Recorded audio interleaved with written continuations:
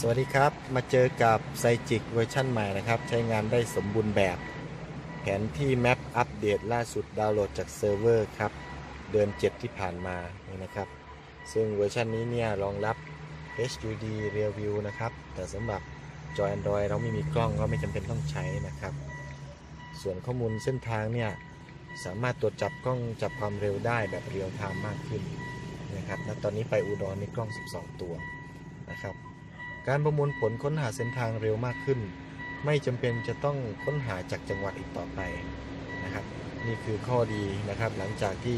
ได้ทำการอัปเดตขึ้นมาแล้วนะครับ แล้วก็ตัวเลือกเส้นทางคำนวณประมวลผลได้เร็วยิ่งขึ้นนะครับ เราสามารถปิดตัวเลือก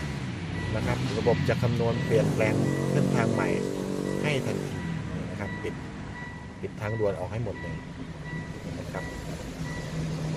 จากนั้นเนี่ย ก็มาดูว่าเส้นทางหลังจากที่คำนวณใหม่ เหลือกล้อง 8 ตัวแล้วนะครับ เป็นยังไง นี่นะครับ ดูปึ๊บ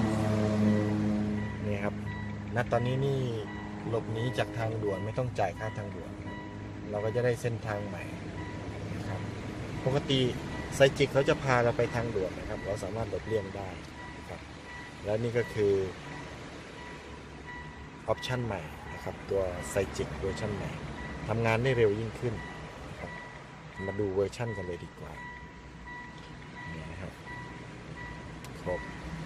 เกี่ยวกับนี่นะครับเวอร์ชัน17.4.26 ใหม่ล่าสุดจากไซจิกนะครับฐานข้อมูลการตรวจจับนะครับ 6 เดือน 12 ปี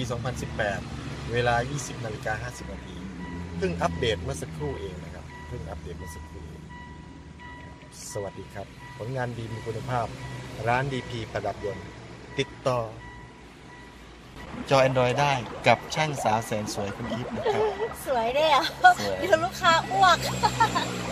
มีช anel ที่ไหนบ้างครับ อ่าตัวนี้นะคะสามารถติดต่อเราผ่าน YouTube นะคะ Facebook นะคะ Line ทำ Line Line แอด นะคะหน้าเว็บนะคะ ได้หมดเลยโดยเซิร์ชคำว่า DP ประดับยนต์นะคะ หรือว่า DP Auto Shop หรือนะคะเข้า Google Google Map นะคะแล้วก็พิมพ์เลยค่ะ DP Auto Shop นำทางมาเลย คอมเมนต์ในนั้นผ่านก็ได้ค่ะ